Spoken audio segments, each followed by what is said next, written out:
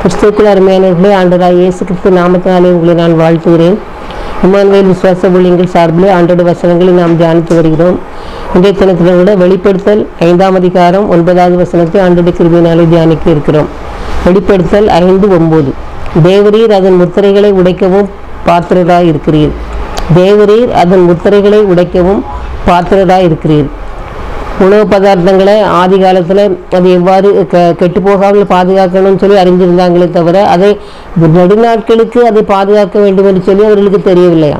ஆனால் அதே சமயத்தில் ஆயிரத்தி எண்ணூற்றி பத்தாவது வருடத்தில் தான் அந்த உணவை ஒரு தகர டப்பாக்களை சேமித்து வைத்து நெடுநாட்களுக்கு அதை கெட்டு போகாமல் பாதுகாக்க முடியும் அப்படின்னு சொல்லி கண்டுபிடிச்சாங்களாம். அப்படி கண்டுபிடித்தவர் யாருன்னு சொன்னால் லண்டனில் சேர்ந்த பீட்டர் ரோரான்ங்கிறவர் கண்டுபிடிச்சாராம்.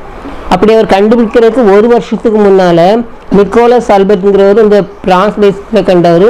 அவர் கண்ணாடி பாட்டில்களில் சேர்த்து வச்சு வச்சுருந்தோன்னா அது கெடாமல் இருக்கும் அப்படின்னு சொல்லி கண்டுபிடிச்சாராம். ஆனால் எதனால் கெடாமல் இருக்குதுன்னு சொல்லி அவருக்கு சொல்லவே தெரியலையாம் ஆனாலும் அப்படி அந்த கண்ணாடி பாட்டில்களில் பொருட்களை அந்த ப பதார்த்தங்களை சாப்பிடக்கூடிய பொருட்களை சேர்த்து வச்சதில் அது கெடாமல் இருந்ததுதான். உடனே நெப் நெப்போலியன் நெப்போலியன் போதபட் அவர் என்ன செய்தாராம்? அவருக்கு பன்னிரெண்டாயிரம் பிராங்க் வந்து பரிசாக கொடுத்தாராம்.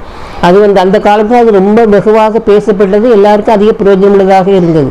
நாளடைவில் என்னாச்சுன்னு சொன்னாச்சுன்னா அந்த மூடி இருக்கும். அந்த மூடியில் போட்டிருப்பாங்க. அதை வந்து கத்தியால் நீங்கள் குத்துங்க இல்லைன்னா ஆணியால் சுத்தியால் அடித்து அதை உடச்சி எடுங்க அப்படின்னு சொல்லி சொல்லுவாங்க.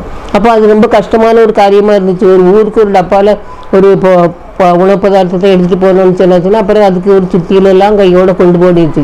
அப்போ இதுக்கு என்ன செய்யலாம் அப்படின்னு சொல்லி யோசிக்கும் பொழுது பிறகுதான் பலவிதமான மாற்றங்கள் என்ன செய்து வந்தது. நமக்கு கூட நல்லா தெரியும். பழைய காலங்களில் சோடா பாட்டிலில் என்ன செய்வாங்க? ஒரு அந்த சோடா பாட்டிலுடைய வாய்ப்பகுதியில் ஒரு வளைவு ஒன்று கிடக்கும். அதில் ஒரு கோழி கோழி குண்டு ஒன்று தெரியும் வச்சு மூடி இருப்பாங்க நம்ம அந்த க சோடாவை குடிக்கணும்னு சொன்னாச்சுன்னா ஒரு சின்ன கட்டை மாதிரி இருக்கும். அதை உள்ளே போட்டு அப்படியே டக்குன்னு தட்டணும்னா அது அந்த பள்ளத்துக்குள்ளே விழுந்துடும் அதுக்கு பிறகு நம்ம அந்த சோடாவை குடிக்கலாம்.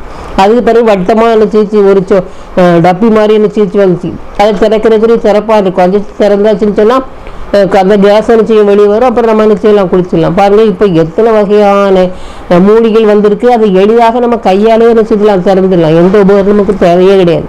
அப்போ அநேக மாற்றங்கள் வந்திருக்கு. இந்த டப்பா போய் கண்ணாடி பாட்டில் போய் இப்போ பாருங்கள் எல்லா இடத்தையும் பிளாஸ்டிக் எல்லாம் என்ன செய்யுது ஆக்கிரமிச்சிட்டு. அது மட்டும் இல்லாமல் அந்த குப்பி பிளாஸ்டிக் குப்பிகள் மேலே இருக்கிறது ச- வட்டமாக இருக்கிற ஒரு சின்ன இது மாதிரி இருக்கிறது நம்ம தட்டினோம்னு சொன்னாச்சுன்னா அது என்ன செய்யறது திறந்துடும் அப்படிப்பட்ட இதுகளெல்லாம் மனுஷன் என்ன செய்யணும் அந்த மூளையால் கண்டுபிடிச்சிருக்காங்க. சரி எப்படி இருந்தாலும் கூட இந்த முத்திரை இது ஒரு முத்திரை. அதாவது அந்த அது வந்து அந்த உடைக்க முடியாதபடிக்கு சீல் வைக்கிறது தான் முத்திரை அப்படின்னு சொல்லி சொல்கிறோம் அப்போ அதை விரும்புகிறவங்க என்ன செய்ய முடியும்? உடைக்க உடைக்க முடியும். யார் வேணாலும் கை கையில் எடுத்து என்ன செய்ய உடைக்க முடியும். ஆனால் உடைக்க முடியாத ஒரு முத்திரையை பற்றி நம்ம வந்து வெளிப்படுத்தல நம்ம வசனத்தின் மூலமாக பார்க்குறோம். பாருங்கள் வெளிப்படுத்தல் ஐந்து எந்தில் போட்டுக்கு பாருங்க. அப்பொழுது மூப்பர்களில் ஒருவன் நீ அழ வேண்டாம். இதோ யூதா காத்திரத்து சிங்கமும் தாவீதின் வேறுமானவர். ஏழு முத்திரைகளையும் உடைக்கவும் ஜெயம் கொண்டிருக்கிறார் என்றான். பாருங்க ஆண்டவர் வந்து அந்த அஹ், விசேஷங்களில் அநேக முத்திரை பிள்ளைப்பட்டு சொல்லியிருக்கு. ஒவ்வொரு முத்திரை உடைக்கும் போதும் அதிலிருந்து அதில் உள்ள விஷயங்களை நம்ம என்ன செய்யறோம் பார்க்குறோம். அப்போது ஒரு முத்திரை என்ன செய்யிருக்காரு? க- ஒரு இது இருக்குது. அப்போ அது திறக்க முடியாமல் இருக்குது அப்போ பார்த்தோன்னே யோகா ரொம்ப என்ன செய்கிறாராம் அழுத அழுதாராம். உடனே தூதர் சொல்கிறாராம் நீ அழ வேண்டாம். இந்த யூதா கோத்திரத்து சிங்கம் அதாவது இயேசு கிறிஸ்து இந்த காவியின் கோத்திரத்தில் உள்ள அவர் செய்தார்? என்ன எந்த முத்திரைகளை உடைக்கிறதுக்கு பாத்திரமாக இருக்கிறார் அப்படின்னு சொல்லி. அப்போ நாம் இப்போ எல்லா முத்திரைகளும் உடைக்கிற மாதிரி எல்லா சீலையும் உடைக்கிற மாதிரி நம்மளால என்ன செய்ய முடியாது உடைக்க முடியாது. அது ஆனால் அதே சமயத்தில் ஒரே ஒரு நாளில் ஆண்டவர் வச்சார் இந்த பிறந்தவர்கள் வைக்கப்பட்டிருக்க கல்லை கல்லறையில் உள்ள எல்லா முத்திரைகளையும் என்ன செய்வார்? உடைப்பார். அதுதான் பைபிளில் போட்டு பாருங்க. இயேசுமானவர் கல்லறையில் அடைபட்டு கொண்டிருக்கும் அனைவரையும் க கல்லறையிலிருந்து வெளி உடைத்து வெளிக்கொண்டு நான் நாள் சீக்கிரம் என்ன செய்யும் வரும். அவர் சொன்ன உடனே அந்த முத்திரைகளை மேலே போட்டுக்க அந்த முத்திரைகள்லாம் என்ன செய்யும்? அடைப்புகளெல்லாம் என்ன செய்யும்? அப்படி வெளியே வந்து என்ன செய்யும்? தன்னாலே ஒரே நேரத்தில் வெளிவந்து எல்லாரும் ஆண்டனே சமூகத்தை போய் என்ன செய்வாங்க? போயிடுவாங்க.